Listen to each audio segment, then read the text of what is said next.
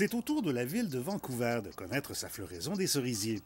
Ces arbres, que l'on appelle aussi cherry blossom ou sakura, connaissent leur pic de couleur pendant un bref moment au printemps. Ailleurs qu'au Japon, où la tradition de l'observation de ces arbres spectaculaires a commencé, plusieurs grandes villes du monde ont aussi leur lot de cerisiers. Vancouver accorde toutefois une place plus importante à ce phénomène haut en couleur. Un festival y est entièrement dédié. Celui-ci s'est terminé récemment, on l'a tenu du 1er au 23 avril. La période précise de cette explosion de nuances de rose varie évidemment d'une région du monde à l'autre. Au pays du soleil levant, l'apogée est déjà passée pour la majorité de ces régions.